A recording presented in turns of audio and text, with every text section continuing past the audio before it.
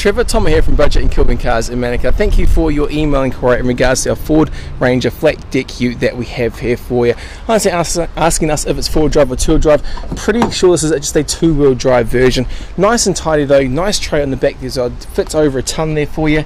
We've been selling cars over 36 years and we sell over a couple hundred cars each and every month, so can and will definitely look after you any other questions, give us a buzz and hopefully we can suss something out. If we keep in mind, we've got plenty of other utes here in stock. A lot of these are four wheel drive also. Okay, mate. Take care. See ya.